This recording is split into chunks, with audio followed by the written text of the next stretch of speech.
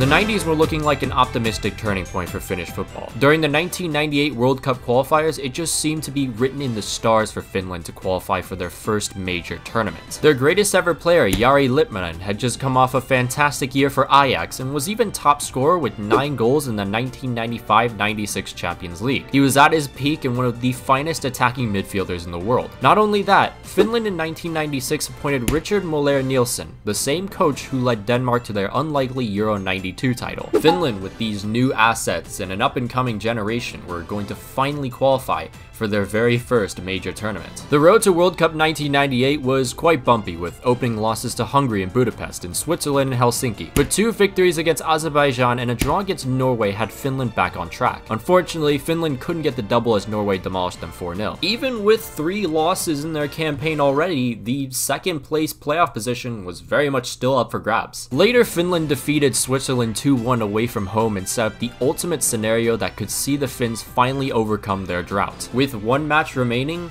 Finland were up against Hungary. The third place Finns were just one point behind the Magyars. They were in a dream must-win scenario that could see them steal the playoff spot away from the Hungarians. A little over an hour into the match, Finland broke the deadlock with a brilliantly taken corner resulting in a goal headed home by forward Antti Sumiala. This was it. After 60 years of failure, Finland were one step closer in the form of a two-legged playoff tie that could send them to their very first major tournament.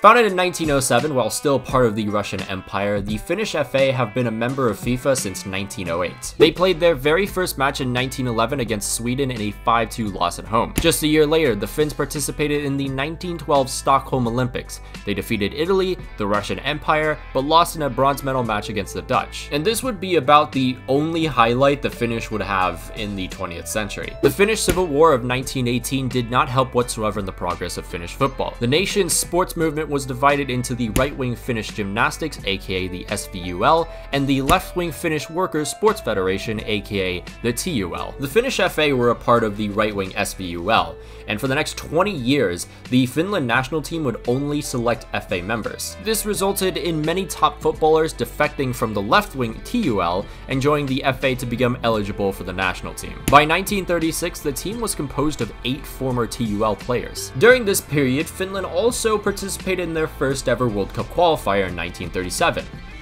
They didn't win a single qualifying match until 1965. By 1939, players from TUL were now selected into the Finnish national team.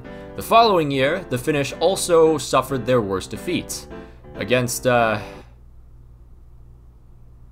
yeah. By 1956, Finland's two associations finally merged into one official. Merging was the great step forward, but the Finnish national team were about 10 steps behind everyone else. Don't say it! Don't you say it! left! Come on! They did participate in their very first European Championship qualifier in 1966 though.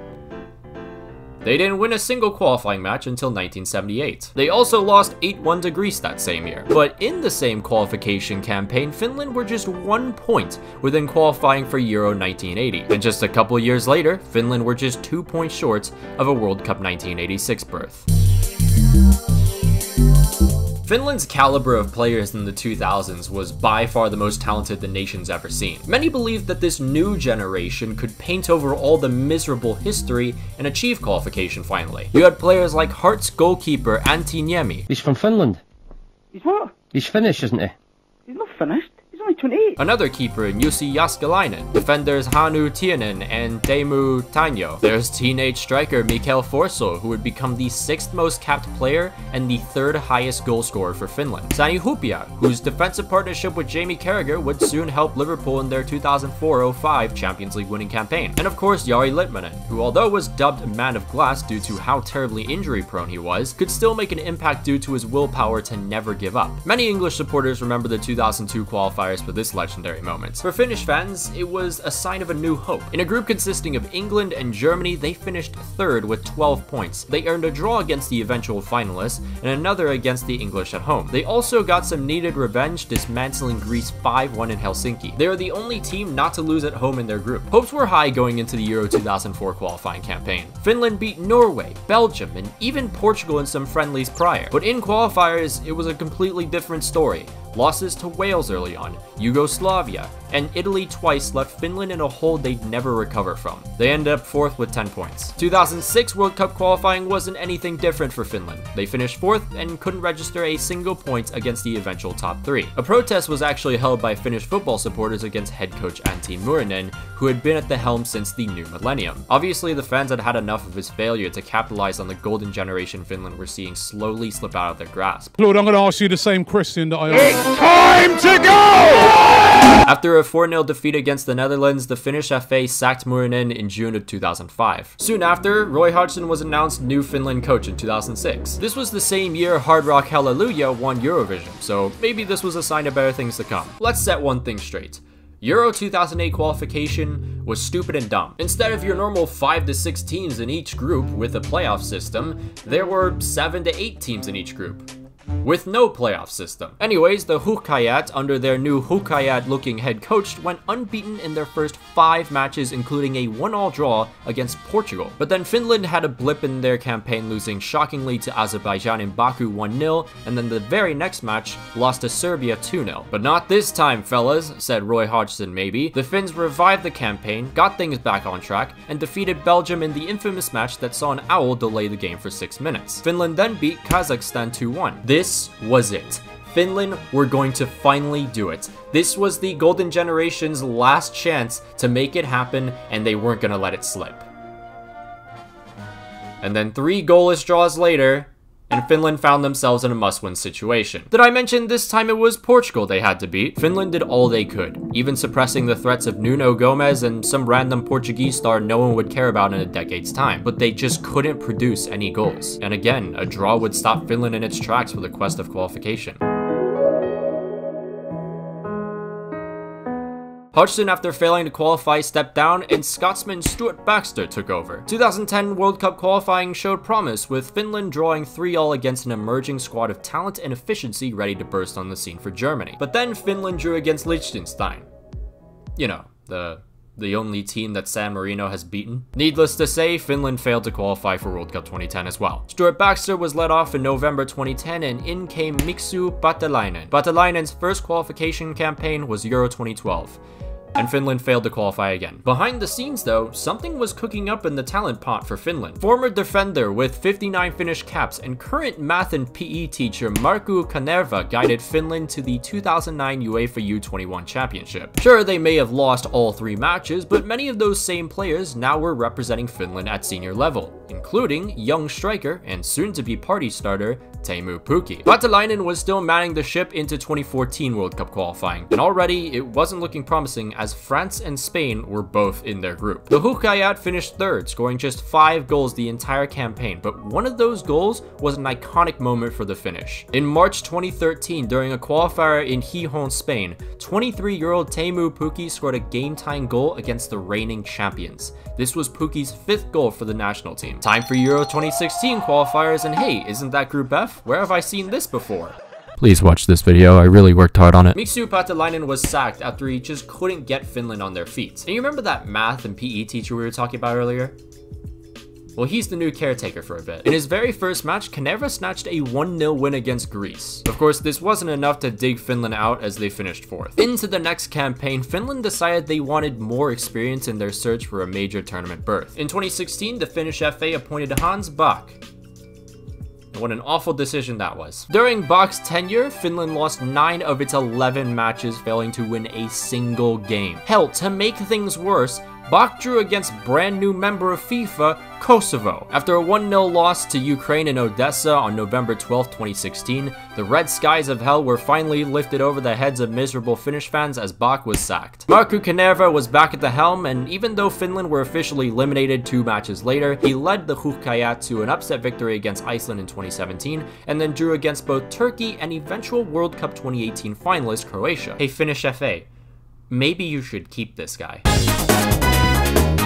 Following the victory against Iceland, Finland in the next 16 matches only lost three times between September 2017 and November 2018. The momentum from a promotion to League B in the tournament absolutely no one asked for, oh wait, sorry, I meant the UEFA Nations League, had quite the morale boost going into the Euro 2020 qualifying campaign. And besides a strong Italian side, the rest of their group consisted of Greece, Bosnia, Armenia, and Liechtenstein. And this time, Markku Kanerva was staying for good. The way he approaches the game using the fusion of his footballing and teaching experience made him the absolute right man for the job. Former Finland international Joona Reini said this about Kanerva regarding the way he discussed plans and tactics. He doesn't say it in a way that annoys you. He doesn't say it in an arrogant way.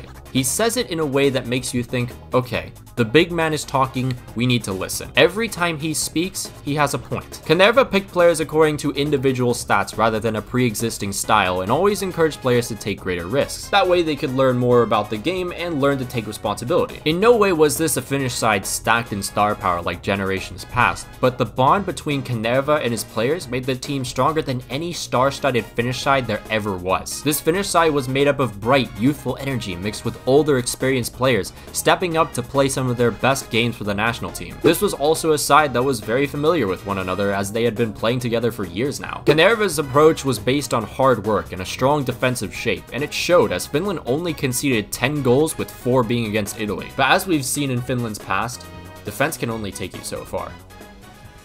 I think you may know where I'm going with this.